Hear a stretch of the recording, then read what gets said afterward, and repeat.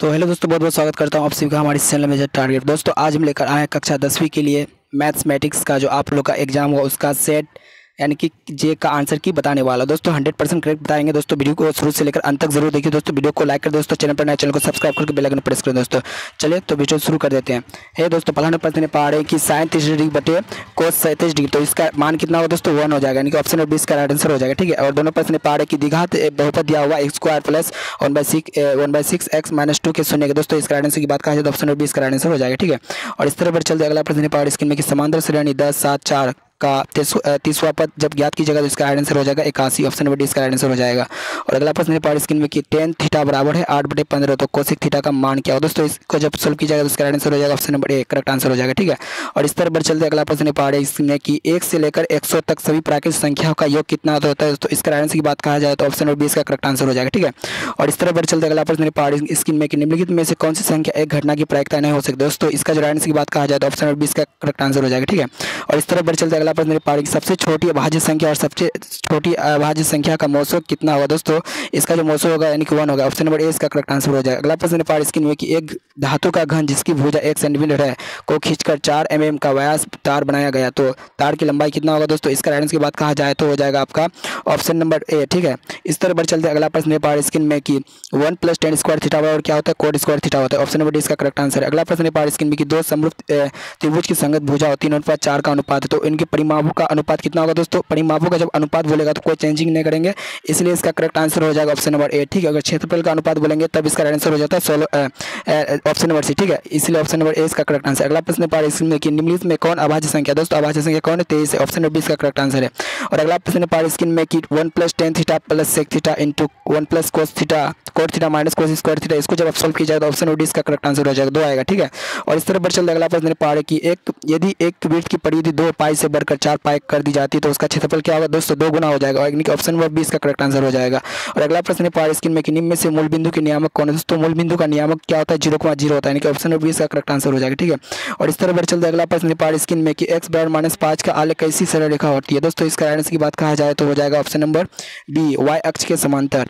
और इस तरह पर चलते अगला प्रश्न पार स्क्रीन में कि दो सर एक्स वाई में रैखिक समीकरण x plus b y plus c बराबर ज़ीरो, कितने अधिकतम हल संभव दोस्तों, इसको आप सोल्व कीजिएगा तो एक ही होगा हल, ठीक है? यानी कि ऑप्शन नंबर ए इसका करेक्ट आंसर हो जाएगा। और इस तरह बढ़ चलते अगला प्रश्न मेरे एक समांतर श्रेणी दिया हुआ, इसका जो कौन सा पद अट्ठासी है? दोस्तों, इसको जो सोल्व कीजिएगा तो इसका आंसर हो जाएगा ऑप्शन नंबर बी यानी कि सताइस आएगा। और इस तरह बढ़ चलते अठारह प्रश्न मेरे पहाड़ है कि बिंदु माइनस तीन को माइनस पाँच किस पाद में? दोस्तों ये तृतीय पाद में स्थित है, ठीक है? और इस तरह बढ़ चलते अगला प्रश्न मेरे पहाड़ है कि two cos square three sorry two two cos square साठ डिग्री का मान होगा। दोस्तों, इसको यानी कि two cos square two cos square कितना है? साठ डिग्री है, ठीक है? तो यहाँ पे आप क्या कीजिएगा कि टू टू कोस स्क्वायर साठ degree two into cos square साठ डिग्री का मान कितना होता है दोस्तों? यानी कि कोस स्क्वायर साठ डिग्री का मान जो होता है आपका तो दोस्तों कोस साठ डिग्री का मान कितना होता है? वन बाई टू होता है, यानी कि टू गुना वन बाई टू की जगह तो इसका आंसर क्या होगा? यानी कि ऑप्शन नंबर ए इसका करेक्ट आंसर सी हो जाएगा, ठीक है? इस तरह बढ़ चलते अगला प्रश्न पहाड़ स्क्रीन में कि निम्न में से किस द्विघात बहुपद की शून्य का योगफल तीन और गुणनफल माइनस दस है? दोस्तों, इसको अभी सोल्व की जगह तो इसका आंसर क्या होगा? कमेंट बॉक्स में बता देंगे, ठीक है? और इस तरह बढ़ चलते अगला प्रश्न पहाड़ स्क्रीन में कि इक्कीस है? इक्कीस प्रश्न है कि माइनस दस छः और माइनस दो और दो, इतना पदों की संख्या कितना होगा? दोस्तों, इसका आंसर की बात जब इसको सोल्व की जाएगा ऑप्शन बीस का आंसर हो जाएगा, ठीक है? और इस तरह बढ़ चलते अगला प्रश्न पहाड़ है कि बिंदु छः को माइनस पाँच का एक्स का नियामक है। दोस्तों एक्स का नियामक आपको बताना है तो एक्स एक्स का नियामक क्या होता है? एक्स ज़ीरो होता है तो इसका आंसर हो जाएगा ऑप्शन नंबर यानी कि जो एक्स में होता है वो हो जाएगा। ऑप्शन नंबर इसका राइट आंसर हो जाएगा। और अगला प्रश्न पार स्क्रीन में कि बहुपद x into two x minus five minus three के शून्य का योग होगा। दोस्तों शून्य का योग यानी कि अल्फ़ा प्लस बीटा और आपको ज्ञात करना है, ठीक है? जब इसको आप सोल्व कीजिएगा तो इसका आंसर क्या हो जाएगा? ऑप्शन नंबर बी इसका करेक्ट आंसर हो जाएगा, ठीक है? और इस तरह पर चलते अगला, और चौबीस नंबर प्रश्न पहाड़ है कि one plus two plus three यानी कि प्लस एन एन बराबर होगा। दोस्तों, इसको अब जब, यानी कि इसका जो आंसर की बात कहा जाए तो ऑप्शन नंबर डी इसका करेक्ट आंसर हो जाएगा। ये दोस्तों, हमारे जो पच्चीसवें प्रश्न पहाड़ स्किन में कि निम्नलिखित में से कौन बहुपद है? दोस्तों, आपको यहाँ पे बहुपद को पहचानना है, ठीक है? तो इसमें बहुपद पोलिनोमियल्स कौन हो जाएगा? तो ऑप्शन नंबर ए इसका करेक्ट आंसर हो जाएगा, ठीक है? बहुपद ये हो जाएगा, ठीक? और इस तरह पर चलते अगला प्रश्न पहाड़ स्क्रीन में कि साइन नब्बे डिग्री माइनस थीटा बराबर क्या होता है? दोस्तों कोस थीटा होता है, ठीक है? यानी कि ऑप्शन नंबर सी इसका करेक्ट आंसर हो जाएगा। और इसमें आपको परी में परी में संख्या पहचान है, ठीक है? तो दोस्तों, यहाँ आप देखने पा रहे कि रूट थ्री से रूट थ्री कैंसिल हो गया तो आपका बचा टू टू एक क्या? परी में संख्या है ठीक है? और इस तरह पर चलते अठाईसवें प्रश्न पहाड़ स्क्रीन में कि सेक थीटा बराबर तेरह बाई बारह है तो कोट थीटा का मान ज्ञात कीजिए। दोस्तों, इसका जब मान ज्ञात कीजिएगा तो इसका आंसर हो जाएगा बारह बटे पाँच, ठीक है? और इस तरह पर चलते अगला प्रश्न पहाड़ स्क्रीन में कि बिंदु ए तीन कुमा चार और बिंदु बी जो है, माइनस तीन कुमा आठ को मिलाने वाले रेखाखंड के मध्य बिंदु का नियामक होगा। दोस्तों इसको जब आप सॉल्व कीजिएगा तो मिडिल पॉइंट जब निकालेगा तो ज़ीरो कमा छः जाएगा, हो जाएगा इसका आंसर ठीक है, यानी कि ऑप्शन नंबर डी इसका करेक्ट आंसर है। अगला प्रश्न है स्क्रीन में कि किसी वृत्त का बाहा बिंदु कितने स्पर्श रेखाएँ खींची जा सकती है? दोस्तों, किसी बिंदु का जो बाहा बिंदु है, कितनी स्पर्श रेखाएँ खींची जा सकती है? तो इसका राइट आंसर की बात कहा जाए तो हो जाएगा आपका ऑप्शन नंबर बी ठीक है, दो। और इस तरह बढ़ चलते अगला प्रश्न है स्क्रीन में कि चौसठ पाई सेंटीमीटर स्क्वायर क्षेत्र वाले वृत्त का व्यास क्या होगा। दोस्तों इसको आप सॉल्व करते हैं उसको बताते हैं आपको। ये दोस्तों इसका जो राइट आंसर होगा कमेंट बॉक्स में जब बता देंगे ठीक है? और इस तरह बढ़ चलते अगला प्रश्न है पार्ट स्क्रीन में कि त्रिभुज एक दिया हुआ है त्रिभुज डी एफ़ और त्रिभुज पी क्यू आर में दिया गया आ, कौन डी जो इक्वलिटी है कौन क्यू की इक्वलिटी है और कौन आर जो इक्वलिटी कौन ई की इक्वलिटी है। इनमें से कौन सा कथन सही है? दोस्तों आपको बताना है कि कौन सा कथन जो है सही है ठीक है? तो इसका जो राइट आंसर की बात कहा जाए तो एक त्रिभुज दिया हुआ ठीक है? ये आपका त्रिभुज है ए सॉरी यहाँ पे आपका डी है और ई है और आपका एफ़ है, ठीक है? और यहाँ पे जो है, एक त्रिभुज यहाँ पे है P Q R P Q R और यहाँ पे बता दिया कि कौन डी जो है कौन क्यू के बराबर है। कौन डी यहाँ देख लीजिए कौन डी किसके बराबर है?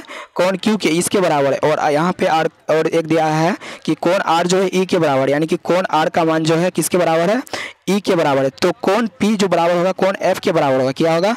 कौन पी जो बराबर होगा आपका कौन एफ़ के बराबर होगा, ठीक है?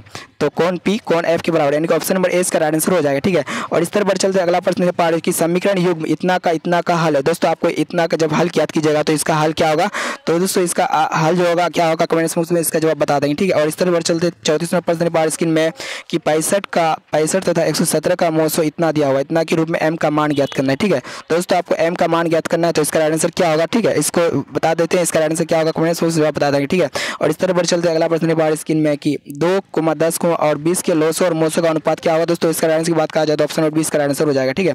और इस तरह बढ़ चलते अगला प्रश्न की ओर देखने पाएँगे हमारा जो छत्तीस नंबर प्रश्न एक बार है कि एक संभावित त्रिभुज एबीसी की एक भुजा बारह सेंटीमीटर हो तो इसकी ऊंचाई क्या होगा? दोस्तों, इसको आप सोल्व कीजिएगा तो ऑप्शन नंबर सी इसका करेक्ट आंसर हो जाएगा, ठीक है? और इस तरह पर चलते अगला प्रश्न मेरे पार स्क्रीन में कि यदि समीकरण थ्री एक्स माइनस वाई बराबर पाँच और six x minus two y बराबर के का कोई हल ना हो तो क्या हो जाएगा इसका राइट आंसर कोई हल जब नहीं होता तो के के नॉट इक्वल टू ज़ीरो के बराबर होता है। ऑप्शन नंबर बीस का आंसर हो जाएगा। और अगला प्रश्न पार स्क्रीन में कि भूमि से एक सौ मीटर की ऊंचाई तथा साठ के अनियन कोण पर प्रति एक पतंग की डोरी की लंबाई कितना होगा? दोस्तों, इसको भी आप सोल्व कीजिएगा तो क्या आंसर कमेंट बॉक्स में जवाब बता दीजिए, ठीक है? और इस तरह बढ़ चलते अगला प्रश्न की ओर देखने पाएँगे भी हमारा जो अगला प्रश्न है कि एक यदि तीन सेंटीमीटर त्रिज्या वाले एक वृत्त की खींची गई दो स्पर्श रेखा जो है साठ डिग्री के कोण पर झुकी तो प्रत्येक स्पर्श की रेखा की लंबाई कितना होगा? छः सेंटीमीटर होगा, ठीक है? और इस तरह बढ़ चलते अगला प्रश्न है पार स्क्रीन में कि बावन ताशों की एक गड्डी के अच्छे तरह फेंट कर उसमें यादृच्छा एक पत्ता निकाला जाता है तो इसके रंग यानी कि बादशाह होने की प्रायिकता क्या होगी? दोस्तों, इसको जो आप सोल्व कीजिएगा तो इसका आंसर क्या होगा? ऑप्शन नंबर सी इसका आंसर हो जाएगा, ठीक है? और इस तरह बढ़ चलते अगला प्रश्न पा है कि एक घनाभ यदि किसी घनाभ की लंबाई एल और चौड़ाई बी और ऊंचाई एच हो तो घनाभ का आयतन क्या होगा दोस्तों? इसका आंसर क्या होगा? घनाभ का आयतन जो होता है आपका एल बी एच होता है, यानी ऑप्शन नंबर ए इसका करेक्ट आंसर हो जाएगा। और इस तरह बढ़ चलते अगला प्रश्न पहाड़ स्क्रीन में कि टेन दस डिग्री टेन डिग्री और टेन पचहत्तर डिग्री और टेन अस्सी डिग्री का मान क्या होगा दोस्तों? इसका जो राइट आंसर की बात कहा जाए तो इसका राइट आंसर हो जाएगा आपका यानी कि ऑप्शन नंबर ए इसका आंसर हो जाएगा। डी ठीक है? ऑप्शन नंबर डी इसका करेक्ट आंसर हो जाएगा। और इस तरह बढ़ चलते अगला आपको प्रश्न बाहर है कि निम्नलिखित में से कौन सा अधिघात समीकरण, दोस्तों आपको द्विघात समीकरण इसमें पहचानना है तो इसका द्विघात समीकरण क्या होगा? तो ऑप्शन नंबर बी इसका करेक्ट आंसर हो जाएगा। ठीक है? ये क्या है? द्विघात समीकरण है, ठीक है? और इस तरह बढ़ चलते अगला प्रश्न बाहर स्क्रीन में कि एक बेलन है और एक शंकु का आधार समान है तो इनकी ऊंचाई की समान हो तो उनकी अनुपातों का योग क्या होगा? दोस्तों इसका आंसर क्या होगा? कमेंट बॉक्स में जो बता दीजिए, आप सॉल्व करके, ठीक है? और जब तक अगला प्रश्न की बढ़ने पा रहे हैं कि पैंतालीस प्रश्न है कि एक अक्ष पर बिंदु दो बिंदु है और एक एक अक्ष पर दो बिंदु है, ठीक है? और एक आपका है माइनस वन कुमा ज़ीरो और दो है पाँच कुमा ज़ीरो तो इनका समान दूरी है। तो इसका आंसर क्या होगा दोस्तों? इसका आंसर क्या होगा? जवाब बता दें कमेंट बॉक्स में, ठीक है? इस तरह बढ़ चल रहा अगला प्रश्न पार स्क्रीन में कि इतना का बहुलक है दोस्तों, इसका बहुलक क्या होगा? ऑप्शन नंबर सी, इसका राइट आंसर हो जाएगा, ठीक है? और इस तरह बढ़ चलते अगला प्रश्न पार स्क्रीन में कि तेरह और उन्नीस के बीच का माध्य होगा। दोस्तों, तेरह और उन्नीस के बीच का माध्य क्या होता है? तो दोस्तों, इसका राइट आंसर क्या होगा? इसका राइट आंसर आपको बताते हैं हे दोस्तों, इसका राइट आंसर हो जाएगा ऑप्शन नंबर सी, ठीक है, यानी कि उन्नीस हो जाएगा। इस तरह बढ़ चलते अगला प्रश्न ने पार स्क्रीन में की थी। दीघा समीकरण x square minus p x plus four, के मूल बराबर हो तो पी का मान कितना होगा? प्लस माइनस फोर हो जाएगा, यानी कि ऑप्शन नंबर बी इसका करेक्ट आंसर हो जाएगा, ठीक है? और इस तरह बढ़ चलते अगला प्रश्न बार स्क्रीन में कि यदि अल्फ यदि ए और बी अभाज्य संख्या हो तो ए और बी का लोशो क्या होगा? दोस्तों, ए और बी का लोशो होगा ए बी, यानी कि ऑप्शन नंबर सी इसका राइट आंसर हो जाएगा। और इस तरह बढ़ चलते अगला प्रश्न पा रहे कि बिंदु एक्स, वाई की दूरी मूल बिंदु से क्या होगा? दोस्तों यानी कि इसका आंसर हो जाएगा under x square plus y square हो जाएगा ऑप्शन नंबर बी इसका करेक्ट आंसर हो जाएगा। और इस तरह बढ़ चलते अगला प्रश्न पा रहे स्क्रीन में कि कोशिक थीटा के बराबर क्या होता है? दोस्तों कोशिक थीटा बराबर जो होता है one by that cosec theta बराबर जो होता है वन बाई साइन थीटा होता है, यानी कि ऑप्शन नंबर सी इसका करेक्ट आंसर हो जाएगा, ठीक है? और इस तरह बढ़ चलते अगला प्रश्न पार स्क्रीन में टू साइन थीटा बराबर वन तो इसको आपको सोल्व करना है तो three cot square theta plus three का मान क्या होगा? दोस्तों, इसको आप जब सोल्व कीजिएगा तो इसका आंसर क्या होगा? ऑप्शन नंबर ए इसका आंसर हो जाएगा, ठीक है? और इस तरह बढ़ चलते अगला प्रश्न पार स्क्रीन में कि असंभव घटना की प्रायिकता क्या होती है? दोस्तों, असंभव घटना की प्रायिकता क्या होता है? ज़ीरो होता है, ठीक है? और इस तरह बढ़ चलते अगला प्रश्न पार स्क्रीन में निम्नलिखित में x square minus under root two x minus बारह के शून्य कौन से हैं? दोस्तों, आपको शून्य इसको जब सॉल्व कीजिएगा तो इसका आंसर क्या होगा? कमेंट्स बॉक्स में इसका जवाब बता देंगे, ठीक है? और इस तरह बढ़ चलते अगला प्रश्न पार स्क्रीन में कि वीर्थ की सबसे बड़ी जीवा कौन है? दोस्तों वीर्थ का सबसे बड़ी जीवा क्या होता है? व्यास होता है, ठीक है? और दोस्तों, आज के लिए है। दोस्तों thank you watching this video